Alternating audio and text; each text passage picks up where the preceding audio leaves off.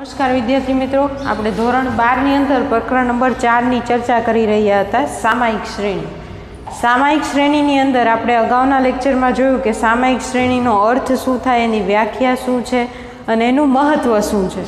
હવે આપણે એના ઉપયોગો જોવાના છે અને સામાયિક શ્રેણીના ઘટકો જોવાના છે. કારણ કે તમે જે ચેપ્ટર સિલેબસમાં સ્ટડી કરો છો, તો તમને એ ખ્યાલ હોવો જોઈએ કે એનો ક્યાંક ને ક્યાંક વ્યવહારિક જીવનમાં ઉપયોગ થતો હોય તો જે તમને સિલેબસમાં ઇન્ક્લુડ કરવામાં આવતું હોય છે. ઘણી વખત તમને ખ્યાલ હોય, ઘણી વખત ખ્યાલ ન હોય, એટલા માટે આપણે જે પ્રકરણનો અભ્યાસ કરવા જઈ રહ્યા છીએ, સામાયિક શ્રેણી, એના ઉપયોગો શું છે? ભલે આપણે ઉપયોગ નથી કરતા, પણ ઘણા બધા લોકો આને ઉપયોગમાં લે છે અને એના આધારે ભવિષ્યના નિર્ણયો પણ લેવામાં આવે છે. તો જોઈએ આપણે સામાયિક શ્રેણીના ઉપયોગો. તો પહેલો પહેલાં તો ઉપયોગો છે એ બે પૃથ્થકરણના આધારે નક્કી કરવાના છે ઉપયોગો. એમાં બે બાબતોને ધ્યાનમાં લઈને ઉપયોગો નક્કી કરવામાં આવે છે. બે પૃથ્થકરણની બાબતો છે અહીંયા. સૌથી પહેલાં તો તમારે એવું એનાલિસિસ કરવાનું છે કે સામાયિક શ્રેણીના ચલ પર અસર કરતા વિવિધ પરિબળો ઓળખવા. એટલે કે તમે જે સામાયિક શ્રેણી બનાવો છો, એની અંદર કયા કયા એવા ઘટકો છે કે કઈ કઈ એવી વસ્તુઓ છે કે જે તમારી સામાયિક શ્રેણીને અસર કરે છે? એવા પરિબળોને સૌથી પહેલાં તમારે ઓળખવાના છે અને ત્યારબાદ એ અસર કેટલા પ્રમાણમાં છે એ તમારે નક્કી કરવાનું છે. બરાબર? સૌથી પહેલાં તો તમારે એ આઈડેન્ટિફાઈ કરવાનું કે કયા કયા પરિબળો અસર કરે છે. અને ત્યારબાદ એની જે અસર છે કેટલા પ્રમાણમાં છે એ નક્કી કરવાનો. ફોર એક્ઝામ્પલ તમે લોકો મોબાઈલ ફોન છે એનો સતત ઉપયોગ કરતા હોય તો તમારી લાઈફમાં પ્રોફેશનલ અથવા તો પર્સનલ લાઈફ હોય એને અફેક્ટ કરતું પરિબળ છે કે આપણે મોબાઈલ કહી શકીએ. બરાબર? હવે એની અસર કેટલા પ્રમાણમાં છે એ તમને એને તાત્કાલિક રિઝલ્ટ ન મળે. પાંચ વર્ષે, છ વર્ષે, દસ વર્ષે તમને ખ્યાલ આવે કે આના લીધે મારે એટલો બધો લોસ છે એ સહન કરવો પડ્યો. બરાબર? તો એ અસર કયા પરિબળો અસર કરે છે? અને એ અસરનું પ્રમાણ છે એ કેટલું છે એ તમારે અહીંયા નક્કી કરવાનું છે. સતત ફોનનો ઉપયોગ કરો તો તમને એક તો ઘણા બધા ડિસીઝ થઈ શકે છે, રોગો થઈ શકે છે, આંખનો પ્રોબ્લેમ થાય, આંખમાં નંબર આવે. અને બીજું જે પ્રોફેશનલી તમને લોસ જાય છે, તમે ભણવામાં ધ્યાન ન આપો, એટલે તમારું કરિયર સેટ ન થાય. કરિયર સેટ ન થાય એટલે તમારી ઇન્કમ ફિક્સ ન થાય. ઇન્કમ ફિક્સ ન થાય એટલે તમે તમારી જરૂરિયાતો છે પૂરી કરી શકો નહીં. તો એવી જ રીતે આપણે જે અહીંયા સામાયિક શ્રેણી છે તૈયાર કરીશું. એને કયા કયા પરિબળો અસર કરે? સૌથી પહેલાં તો એ ઓળખવાના અને પછી એ અસરનું પ્રમાણ કેટલું છે આઈડેન્ટિફાય કરવાનું. આ બે પરિબળોના, આ બે પૃથ્થકરણના આધારે આપણે એના ઉપયોગો છે નક્કી કરવાના છે. સૌથી પહેલો ઉપયોગ છે કે ભૂતકાળની પરિસ્થિતિ જાણી શકાય અને તે પરથી ચલનો પ્રકાર અને માપ છે મેળવી શકાય. મેં તમને ગઈકાલે પણ ચર્ચા કરી હતી આપણે કોઈ વસ્તુ છે, કોઈ ઘટના છે જીવનમાં ઘટતી હોય અથવા તો કોઈ ઘટના છે રિપીટ થતી હોય, તો તમે એના માટે શું કરો છો કે જે ભૂતકાળમાં તમે જ્યારે જે તમારો અનુભવ છે, તમને ખ્યાલ હોય, તો એ ભૂતકાળના અનુભવના આધારે તમે અત્યારે શું નેસેસરી સ્ટેપ લ્યો છો, એ એના ઉપર આધાર છે અને ભવિષ્યમાં એ સ્ટેપની શું અસર થશે એ. હવે એના માટે આપણે એક એક્ઝામ્પલ લઈએ. અહીંયા તો આપણે સામાયિક શ્રેણીમાં ભૂતકાળની પરિસ્થિતિના આધારે ચલનનો પ્રકાર અને માપ છે નક્કી કરવાનું છે.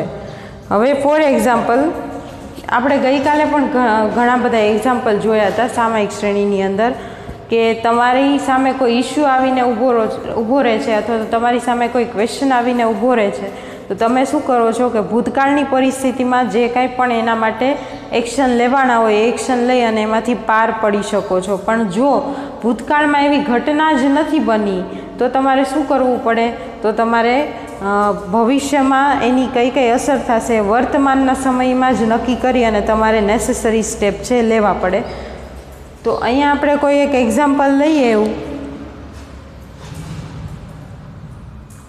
કે જેના આધારે ભૂતકાળની પરિસ્થિતિ આપણે જાણી શકીએ અને જલરનો પ્રકાર છે એ પણ નક્કી કરી શકીએ. એવું ફોર એક્ઝામ્પલ કે વરસાદની સિઝન હોય, તો તમને ખબર જ હોય અગાઉથી કે ભાઈ વરસાદની સિઝન આવે છે, તો વરસાદ આવી શકે છે. વધુ પણ હોય, ઓછો પણ હોય. એટમોસ્ફિયર ઉપર ડિપેન્ડ રહે.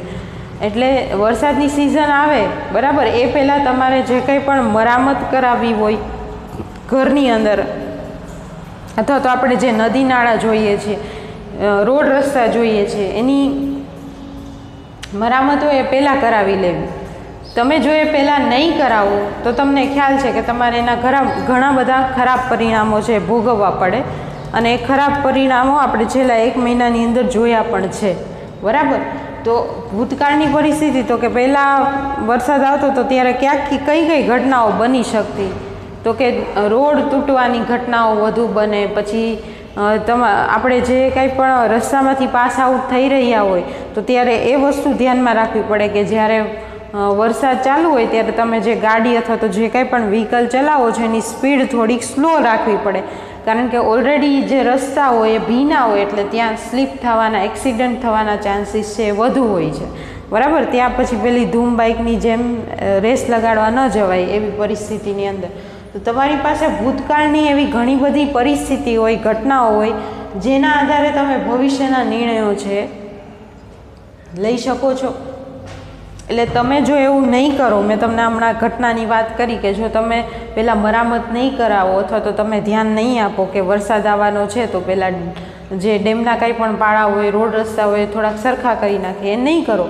તો ડબલ નુકસાન જશે અને બાકી જે પબ્લિકને ભોગવવું પડશે એ અલગ. અથવા તો તમારે ભોગવવું પડે એ અલગ. તો એટલા માટે ભૂતકાળની પરિસ્થિતિને ધ્યાનમાં રાખી કયા પ્રકારની અસર થઈ શકે છે? કેટલા પ્રમાણમાં અસર થઈ શકે છે?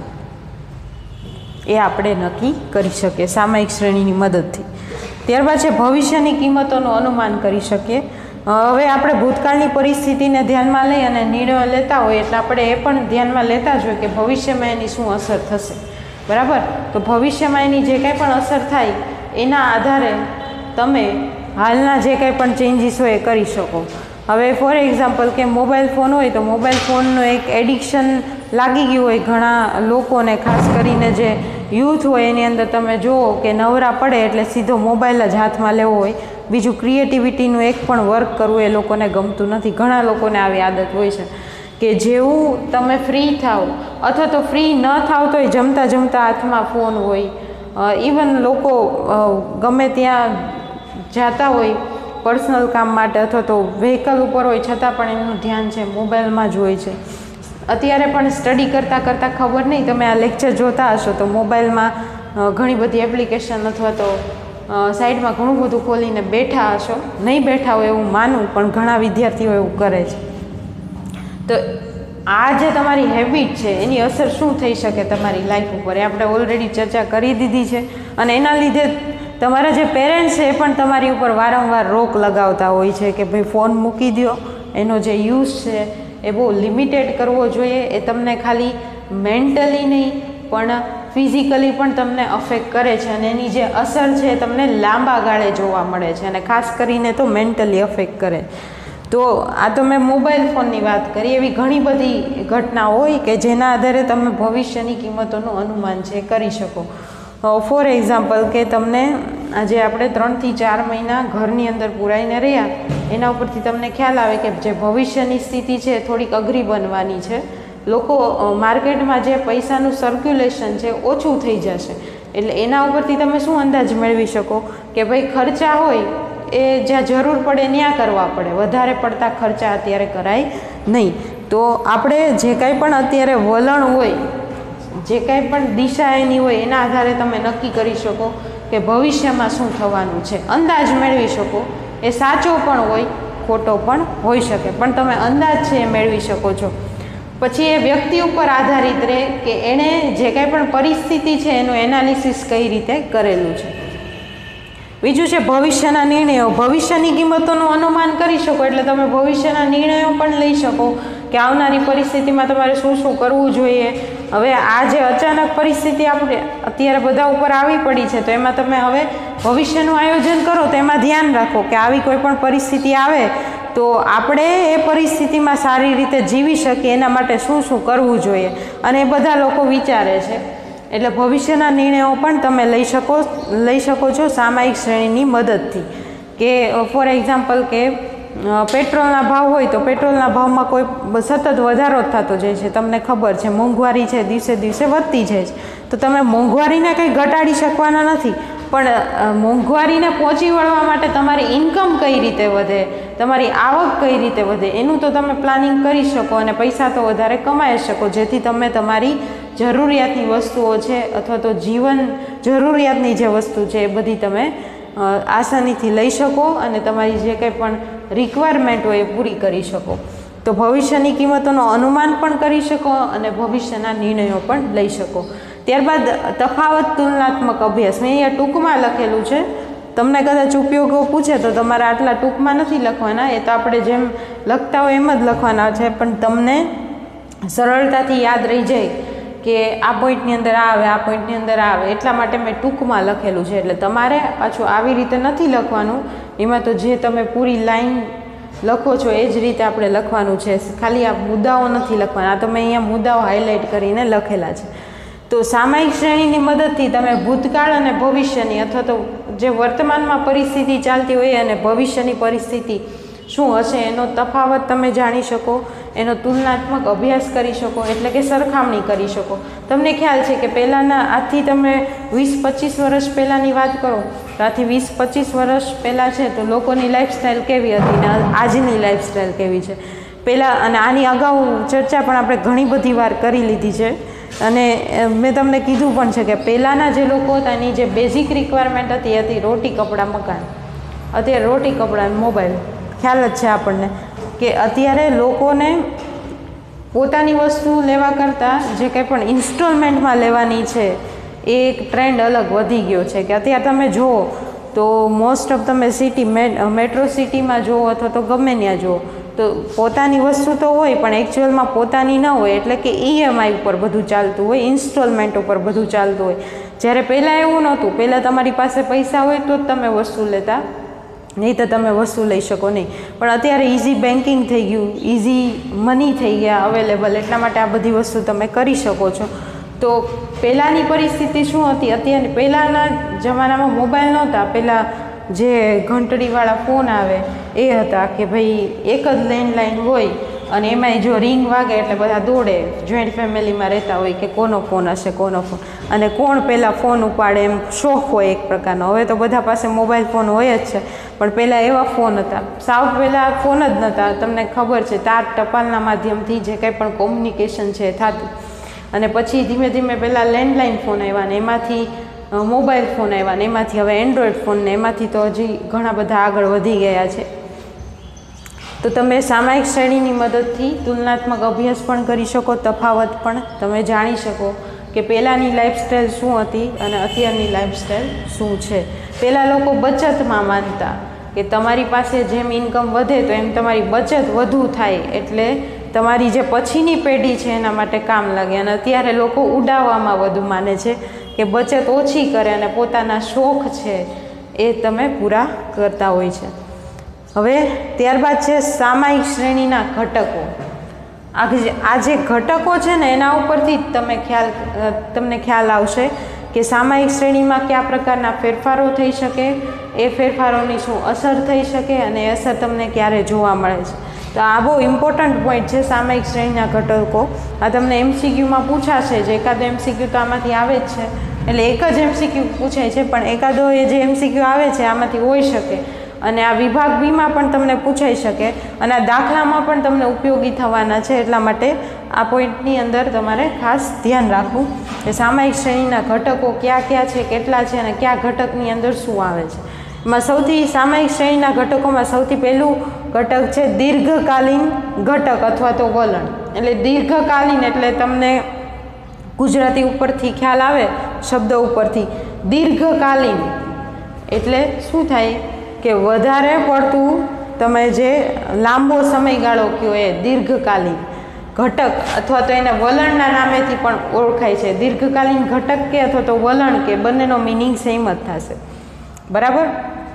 અને ઇંગ્લિશમાં લોંગ ટર્મ કમ્પોનેન્ટ અથવા તો લોંગ ટર્મ ટ્રેન્ડ પણ તમે કહી શકો. વલણ એટલે ટ્રેન્ડ તમે કદાચ તમને ખ્યાલ નહીં હોય કે ટ્રેન્ડનું ગુજરાતી વલણ થાય, પણ તમે ટ્રેન્ડ વર્ડનો યુઝ તો કરો છો તમારા લાઈફમાં કે ભાઈ અત્યારે છે તો મોબાઈલ ફોનમાં આનો ટ્રેન્ડ ચાલે છે, અત્યારે આનો ટ્રેન્ડ ચાલે છે. એટલે ટ્રેન્ડ તમે વર્ડ યુઝ કરો છો, પણ ટ્રેન્ડનું એક્ઝેક્ટ ગુજરાતી થાય વલણ. એટલે લોકોની રુચિ શેમાં છે, પસંદગી શેમાં છે. તો દીર્ઘકાલીન ઘટક અથવા તો વલણ, એ તમારું પેલું સામાયિક શ્રેણીનું ઘટક છે.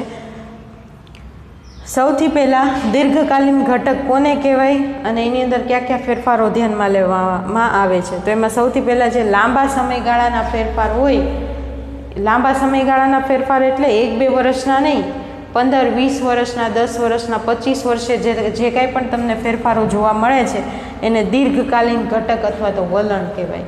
અને આ જે ફેરફારો છે એ ઝડપથી પણ નથી થતા. ધીમે ધીમે ધીમે ધીમે તમને સમયાંતરે જોવા મળશે. અને એનું બેસ્ટ એક્ઝામ્પલ કહું તો મોબાઈલ ફોન કે આજથી ત્રીસ વર્ષ પહેલાં જે મોબાઈલ ફોનનું ચલણ છે હતું જ નહીં નહીવત હતું પછી જેમ મોબાઈલ ફોનની શોધ થતી ગઈ, એમ પહેલાં જે, મીન્સ કે જેની પાસે બહુ પૈસા હોય એની પાસે મોબાઈલ ફોન હોય એવું પહેલાં માનતા. બરાબર? આથી વીસ વર્ષ પહેલાં, દસ વર્ષ પહેલાં પણ એવું હતું. પણ હવે શું થઈ ગયું? મોબાઈલની કિંમત ઓછી થઈ ગઈ અને મોબાઈલ બધાની બેઝિક રિક્વાયરમેન્ટમાં આવી ગયું. તો મોબાઈલનો જે પ્રેફરન્સ છે, પહેલાં લોકો પાસે ફોન નહોતા. એક ફોન હોય એમાંથી આખું ઘર ચલાવે અથવા તો ફોન જ નહોતા. પણ હવે જે મોબાઈલ ફોનની સુવિધા તમને જોવા મળી છે તો તમે જે મોબાઈલ ફોનનો ઉપયોગ કરો છો, એ કંઈ અચાનક એમાં નથી ઉછાળો આવ્યો, ધીમે ધીમે આવેલો છે ને? સૌથી પહેલાં તો લેન્ડલાઇન હતા, તો લેન્ડલાઇન કોકના ઘરે હોય, કોકના ઘરે ન હોય, કારણ કે એમાં પણ બિલ તો ભરવું જ પડે, એટલે જે લોકો અફોર્ડ કરી શકતા હોય એના ઘરે હોય, બાકી ન હોય. લેન્ડલાઇન પછી ધીમે ધીમે પહેલાં નોકિયાના ફોન આવ્યા, તમને ખબર જ છે. નોકિયાના ફોન, સાદો ફોન તમે જે કહો છો, એ નાનો એવો હોય, એ. કદાચ તમે જોયો હોય કે નહીં, ખબર નહીં, પણ પહેલાં એ યુઝ કરતા. જોયો નહીં હોય તો સાંભળ્યું તો હશે જ. તો એ ફોન આવ્યો. એ ફોન આવ્યો, પછી એમાં પણ ઘણા બધા અલગ અલગ પ્રકારના પ્રાઇસ પ્રમાણેના મોડલ હોય. પછી એમાં પણ ત્યારે તો ફોર જી નેટ પણ અવેલેબલ નહોતું. ત્યારે નેટ એક જીબી પણ ફ્રી મળે એટલે આમ બહુ મોટી વાત કહેવાતી. અને તમને એમ થાય કે, ઓહો, મારી પાસે વન જીબી નેટ ફ્રી છે એટલે તમે આમ રાજાની જેમ ફરો તમારા ઘરમાં. એટલે ત્યારે એ પરિસ્થિતિ હતી આજથી દસ વર્ષ પહેલાં, પાંચ સાત વર્ષ પહેલાં. પછી મોબાઈલ ફોન છે, એ બેઝિક રિક્વાયરમેન્ટ બનતી ગઈ લોકોની કે તમે ક્યાંય પણ બહાર જાઓ છો અથવા તો એકલા તમે મુસાફરી કરતા હોય તો મોબાઈલ ફોન હોય તો ઘરના જે લોકો હોય અથવા તો તમારી આજુબાજુના જે લોકો હોય એને તમારી જે ચિંતા છે થોડીક ઓછી રહે એટલા માટે મોબાઈલ ફોન બેઝિક નેસેસિટી બની ગઈ. તો જેમ જેમ ઘરમાં વ્યક્તિઓ છે, મોટા થતા છે એમ એમ બધાને એક એક પર્સનલ ફોન લઈ દે અથવા તો બે ત્રણ જણા વચ્ચે એક ફોન રાખે. એટલે પહેલાં ફોન હતા જ નહીં, પછી લેન્ડલાઇન આવ્યા, પછી એમાંથી ફોન આવ્યા અને પછી એમાંથી એન્ડ્રોઈડ ફોન આવ્યા. એન્ડ્રોઈડ ફોન પણ બધા પાસે નહોતા. એ પણ જે લોકો પાસે ઇન્કમ સારી એવી હોય, જે લોકો એને અફોર્ડ કરી શકતા હોય, એ લોકો એન્ડ્રોઈડ ફોન અને પછી તમને ખબર છે કે જીઓએ આપણી જે લાઈફસ્ટાઈલ છે ને બહુ વધારે પડતું અફેક્ટ કર્યું. કારણ કે એના ફોન પણ થોડીક ઓછી કોસ્ટના આવતા અને ફ્રીમાં જીઓનું જે સિમ કાર્ડ છે તમને મળતું. અને ત્યારથી લોકોને આદત પડી ગઈ અનલિમિટેડ ડેટા યુઝ કરવાની.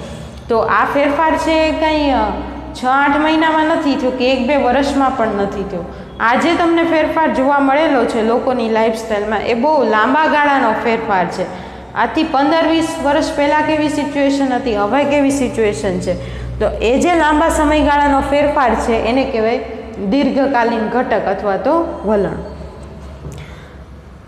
પછી લાંબા, દીર્ઘકાલીન ઘટક છે એટલે એની અંદર લાંબા ગાળાના ફેરફારને ધ્યાનમાં લેવામાં આવે છે. ટૂંકા સમયની વધઘટોને ધ્યાનમાં લેવામાં આવતી નથી. આ એક પોઈન્ટ પણ તમારે યાદ રાખવાનો છે કે દીર્ઘકાલીન ઘટક છે, તેમાં લાંબા સમયગાળાના જે ફેરફારો હોય એને જ ધ્યાનમાં લેવામાં આવે. ટૂંકા સમયગાળાની વધઘટને ધ્યાનમાં લેવામાં આવતી નથી.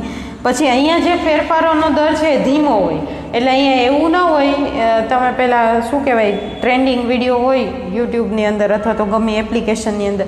તો ટ્રેન્ડિંગ વીડિયો હોય તો એક દિવસ પાછું ટ્રેન્ડ ઉપર હોય તો બીજા દિવસે પાછું સાવ લાસ્ટ નંબર ઉપર આવી ગયો. એવા ફેરફાર અહીંયા ન હોય. અહીંયા જે ફેરફાર છે, ધીમા દરે થતા હોય. એટલે ધીમે ધીમે ચેન્જ જોવા મળે છે. એક સાથે તમને ચેન્જ જોવા મળતું નથી. શેની અંદર? દીર્ઘકાલીન ઘટક અથવા તો વલણની અંદર. અને તેને સંકેતમાં ટી ટી વડે દર્શાવવામાં આવે છે. દીર્ઘકાલીન ઘટક અથવા તો વલણ છે. એટલે લોંગ ટર્મ કમ્પોનન્ટ અથવા તો લોંગ ટર્મ ટ્રેન્ડ કહેવાય. વલણ એટલે થાય ટ્રેન્ડ એટલા માટે ટી ફોર ટ્રેન્ડ એટલે ટી અને આ જે સ્મોલ ટી છે એ ટાઈમનો છે, એટલે એને ટી ટી તરી, તરીકે દર્શાવવામાં આવે છે. તો આ જે ઘટક હતું, એ હતું તમારું દીર્ઘકાલીન ઘટક અથવા તો વલણ, કે જેની અંદર લાંબા ગાળાના ફેરફારો છે, એને ધ્યાનમાં લેવામાં આવે છે. ટૂંકા ગાળાના ફેરફારોને ધ્યાનમાં લેવામાં આવતા નથી અને જે ફેરફારોનો દર હોય છે, એ ખૂબ જ ધીમો હોય છે.